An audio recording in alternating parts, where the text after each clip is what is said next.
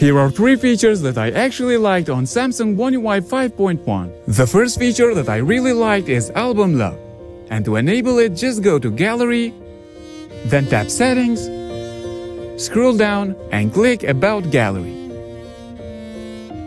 Now tap a few times to enable Gallery Labs. Go back and open Gallery Labs. And now just enable album entry locks. Now all you have to do is to just press and hold on your album that you want to lock and simply click Lock Album. The second feature is called Image Clipper. This feature was introduced last year on iPhones with iOS 16 and now it's available on Samsung as well. So basically all you have to do is to just press and hold on a subject and it will automatically crop it for you. And last but not least is battery widgets.